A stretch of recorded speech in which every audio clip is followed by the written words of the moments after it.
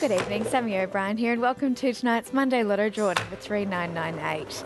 We're playing for a Division 1 prize of $1 million, guaranteed for up to four winners. Here with me tonight are our draw officials and government supervisor. To win the Division 1 prize tonight, your six numbers will need to match the six winning numbers in this evening's draw.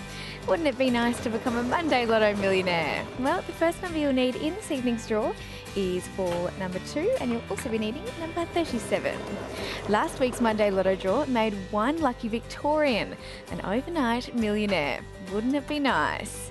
Well, tonight to be a winner, you'll be needing number 30, and the fourth ball out of the barrel is 38.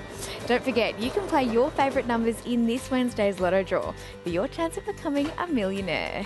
Well, tonight, number 23 is another one of your lucky numbers, and the last ball out of the barrel before the supplementaries tonight will be ball number 25. Let's recap those winning numbers. Number 2, 37, 30, 38, 23, 25, and our first supplementary for this evening is ball number 36, and the last supplementary you'll be needing tonight is number 3.